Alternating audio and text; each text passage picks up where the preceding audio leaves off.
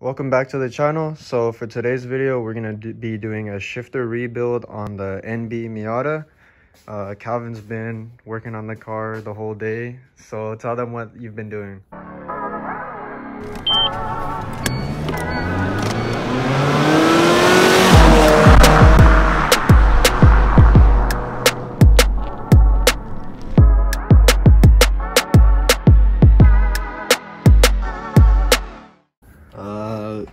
Transmission fluid change and then a diff fluid change and then I was like, might as well just do the shifter rebuild while I'm doing the transmission fluid. So All right, show us the show us the rebuild kit real So quick. basically, let me see. I have the upper boot. Um, some of this. No, I don't know what it's called, but I've had it. We got the um the uh, brass. Uh, I forgot what this was called. And then we had the uh, uh, lower boot. And then where'd you get this from? I got this from 5X Racing. All right. Well, we're going to leave the link in the description so you could pick one up for yourself. But this is currently what the shifter assembly looks like. And there's some stuff down there.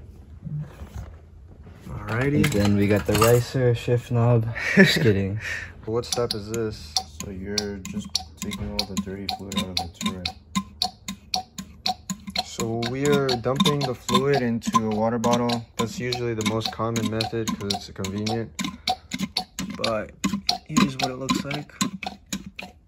Here's the brass shifter bushing. Oh shit, Wims dropped it. But it's looking pretty clean. Soon it'll be installed. Alright. It just replaces this one right here, the plastic one. So what's the benefit of having the brass one? Uh, you have less uh, slop. So when you're shifting gears, if you're in a gear with the plastic one, there's a lot of side to side movement. Uh-huh. This one kind of solidifies each gear and there's little movement as you shift. For sure. This is more precise. All right, so he's uh, gonna replace the fluid now. I believe we bought this on Amazon, so we'll leave the link uh, for it in the description. But um, just gotta be careful not to spill, because these chemicals are abrasive. Here's a little close up. Now he's gonna put some MT90 fluid in there. I believe he said it's a mixture, so. All right, so he's prying prying off the He's prying off the stock uh, plastic bushing. It's a little bit of a, a pain, but there we Oh, go. There we go. There we go. All right, so now he's gonna cut the inner shift boot plastic um, ring.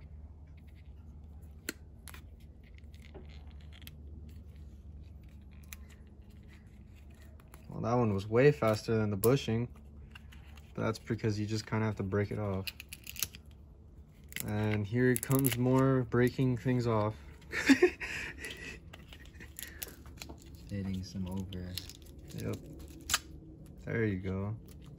All right, so now he's uh, working on the inner bushing, just basically cutting it off because uh, we have all new parts of that.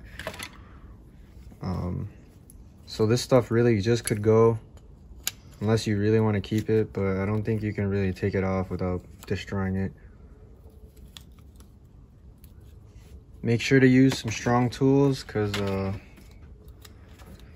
some of these parts are pretty strong.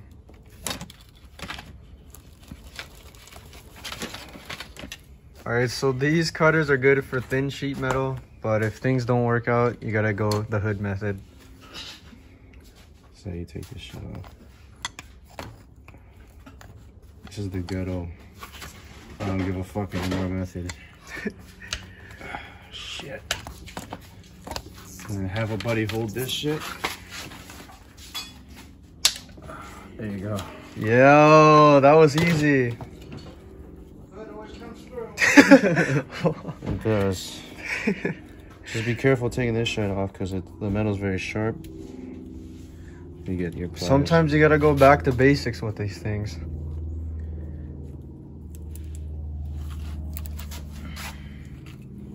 There you go. And then this can just slide off through the top. Perfect. So this is the bare shifter, no bushings. Which just needs a brake cleaner. So this has a lot of old uh, trans fluid and, and um, it just gets black. So it, it's, uh, it's good to just clean this off before you reinstall it. So we got some brake cleaner right here. Uh, if you don't, if you have plants in your yard that you don't like, you could just spray it over the, those plants and get it nice and clean.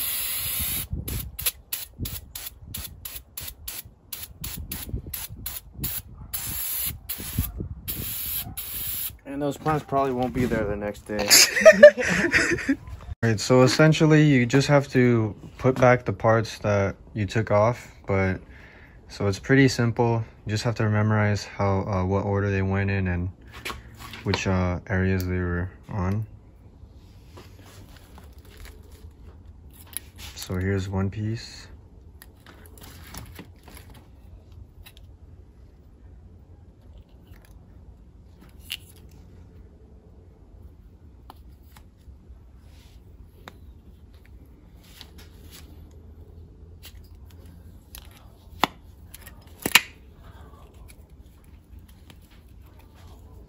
There you go.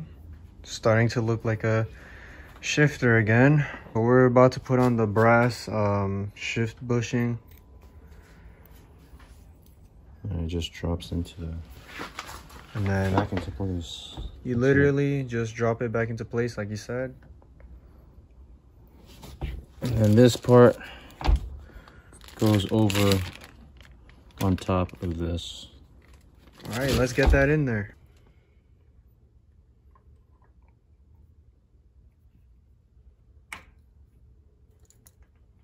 Oh, it's in. It's in. Jesus.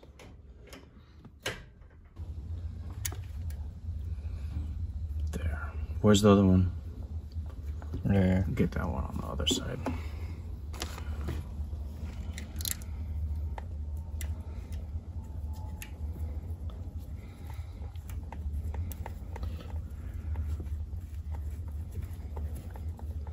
Screwing on his shift knob. There you go. Test it out, boy. Damn. This thing is solid. There you go.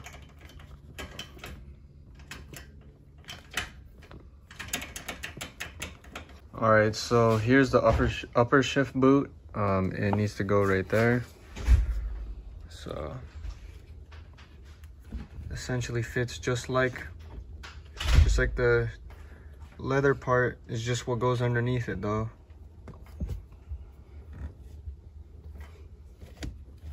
It's kind of dark because uh, it's about six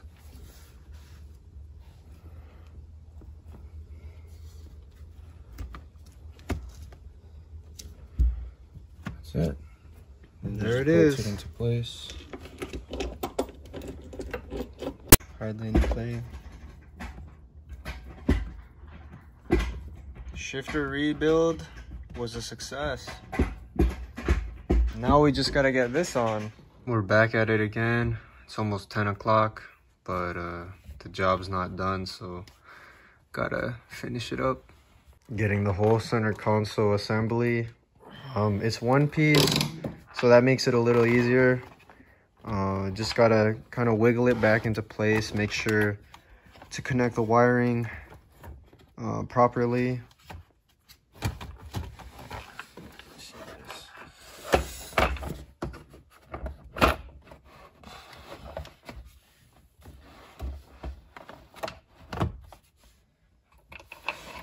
So it's almost on. Uh, obviously, it's not bolted down, but this is how it should look.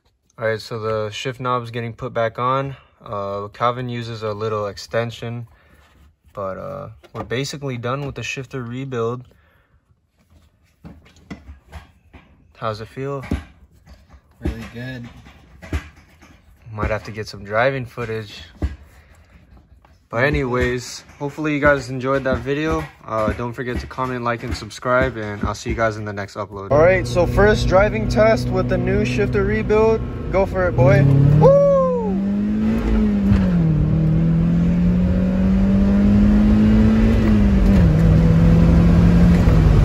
Let's go, boy!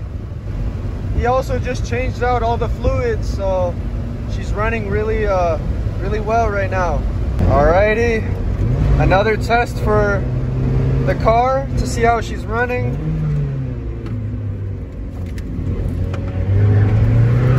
Oh my God, this guy.